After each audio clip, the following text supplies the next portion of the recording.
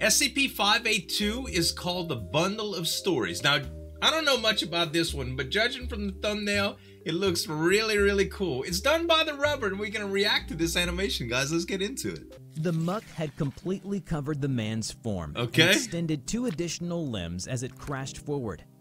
The roar of the cheering people was absolutely deafening. He watched as the creature bashed his men and enveloped their corpses All with right. its filthy slime. Enveloped, Hello, everybody. I'm the Rubber. Hey, Today, Rubber. we Good to bring see the you. SCP Foundation Keter class object SCP-582. SCP-582, also known as a bundle of stories, is an adaptive, self-propagating meme. It's a me. Its primary ability is passive reality modification. I see. Any fictional account written about 582 will become a factual record of a manifestation of the entity, oh wow. in which 582 will carry out all actions attributed to it in the narrative. That's These manifestations can take place at any time and place Get off when me. specified. If no Back specific sucker. location or time is given, the manifestation will occur at any opportunity that will meet the narrative's Right. criteria. To surprise. 582's actual abilities within narrative are generally nebulous and lacking in detail. Okay. The most common format of a story involves the aftermath of its manifestation, Ah. or a short-lived encounter, rather Okay. than an explanation or justification of the events. Interesting. What is known is that 582 regularly appears capable of appearing or disappearing at any place or time, Right. and that no method of terminating or otherwise harming 582 within any narrative has been successful. Can't happen. 582's portrayal as a godlike entity has led to a collection of commonly featured avatars. I see. Its actual form, if extant, has yet to be featured Unknown. in any narrative. Okay. Here's a list of notable manifestations of 582. All right. Manifestation Alpha. This is the most common instance of 582. So this happens. Alpha is a humanoid over and over creature again. standing approximately 2 meters tall Right. and wearing thickly layered robes, Okay. often compared to burlap. The figure is hooded and no face is visible Right. underneath.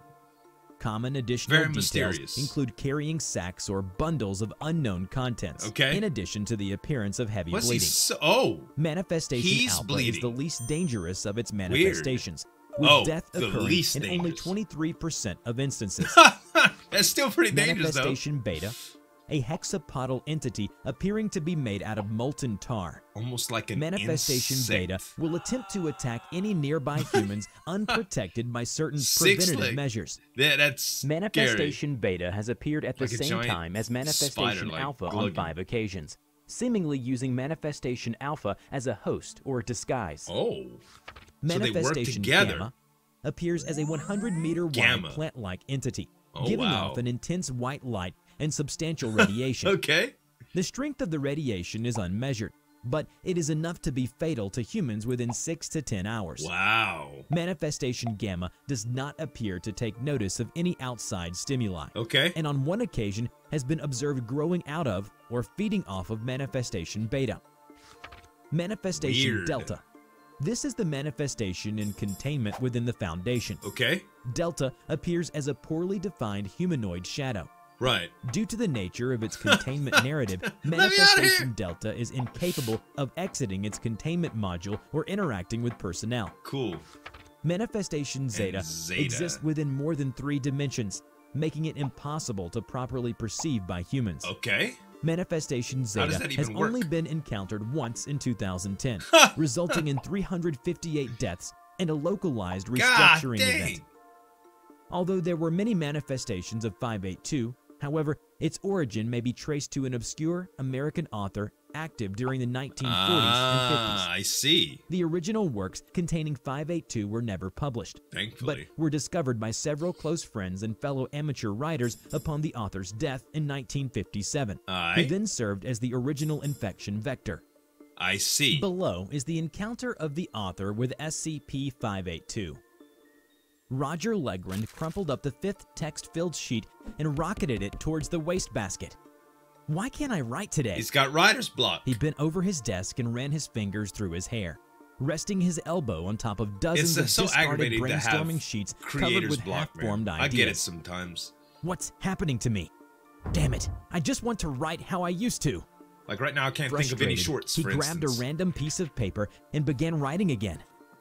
And then the great Dam Ragravi, the master of language I just pulled out of nowhere, appeared to Roger and struck him with awe and inspiration. He became his muse, his inspiration, his path to better things in this pitiful existence of frustration. Gotcha. Ah! He ripped the sheet to shreds and tossed it over his shoulder. It sounded cool though, buddy. his arms and laying his head down on his It desk. sounded cool. Why didn't you he roll with stayed like this for a few moments before being struck by the peculiar feeling that something was watching him. Okay. Slowly, he turned to look behind him. A tall man-like figure stood there, with a featureless face visible under its hood, and dressed in several heavy layers of a coarse brown fabric. All right. It said nothing. It simply stood there with its head angled down towards Roger. Who the hell are you? the figure remained silent. How did you get in here? Still silent, the being in front of him raised a single finger, with no fingernail to be seen, Okay. and pointed at the scraps Roger had just torn up. ah. Unsure of what the figure meant with this gesture, he continued to stare in awe as it started to move about the room. Okay. It picked several balled up pieces of paper out of the trash and returned them to Roger's desk, smoothing them out and pointing at several key words and phrases previously deemed by the Ah. man to be bad ideas. He walked over and watched the creature. So he thought they were. books, a tale of a family. Oh, he's giving him something that will inspiration. the world. He looked up at the hooded thing, which had picked up the torn scraps and replaced them on the surface in front of Roger. Okay. And so he understood. He's piecing it He together. had found a being that could be manifested when written about. ah. It was something that could literally change the world. He became inspired Yeah, it'll change the world, all by his discovery and began frantically writing out notes and ideas. well, he's inspired now. This time. he never noticed the creature he now knew as Ragravi disappear, but Huh. he knew that he'd meet it again. Right. As he fell deeper and deeper into a writing frenzy, so he, he, came to many about it so it realizations, came many to stopped thoughts, and many epiphanies about the thing he had found. or did it just manifest for him because it was written about him? this So was did he that create him, or just praise. summon him, kind of? This was something that Roger was born to do. And so the first scribe of Ragravi came into existence. All right. It wasn't hard to find people to join in the belief. After all, it was a religion It's like based a on a figure whose existence and power could be proven at literally any time. now, First came Roger's close that's pretty friends, easy to get followers for, then. until they numbered about 50 people. But soon enough, a wolf came to tear the believers asunder. Okay. They filed into the warehouse silently. But even so, their black tactical clothing made them distinctly noticeable among the sea of brown robes. Sure.